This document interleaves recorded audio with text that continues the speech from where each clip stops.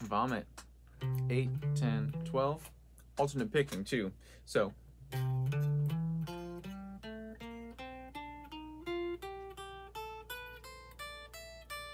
and on your way back down, don't repeat that top note, that pinky note. So like this. Ready, go.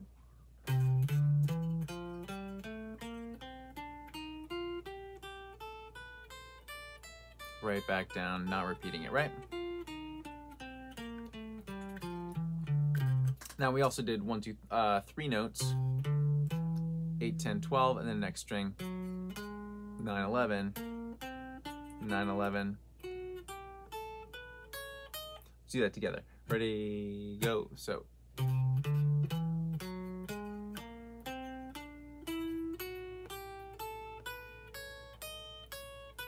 And same thing, not repeating that top note. I want to barf. That's what we want to do. Okay.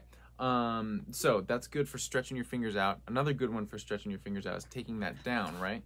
Um, maybe we could start fifth fret and then even go down to the first fret if we're feeling it. But fifth fret's cool.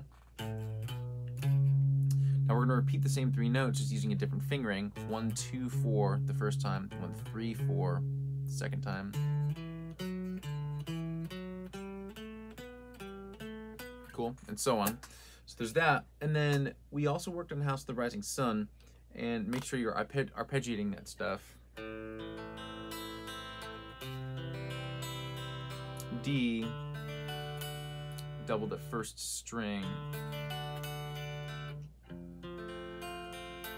Cool. Um, and loop that. So take the bass note, two,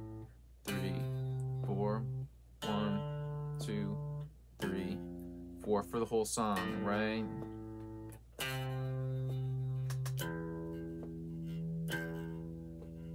And then build your loop on top of that bass note. Then we have Hotel California, where we are doing B minor, F sharp major, A major, sorry, E major, G, D, E minor, F sharp. We are also um, taking these uh, chords and making smaller inversions out of them, smaller voicings. D shape, five, five, six, four, five, four. Um, let's go through these again. I'm gonna go from uh, first string down. So um, one, two, three, right?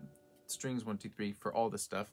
So we have seven, seven, seven, uh, six, seven, six, five, five, six, four, five, four, three, three, four, two, three, two, open, open, open, two, three, uh, sorry, two, two, three. Cool. Um, and then we were playing this scale.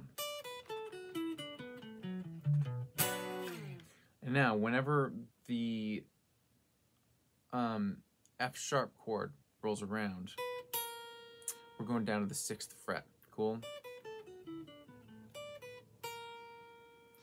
and then back to the scale for the A chord, and then whenever whenever you go to the E chord, you're at the ninth fret on the second string. Rest of the um, solo, you can kind of just use that scale. Cool. Um, think that was about it for this week.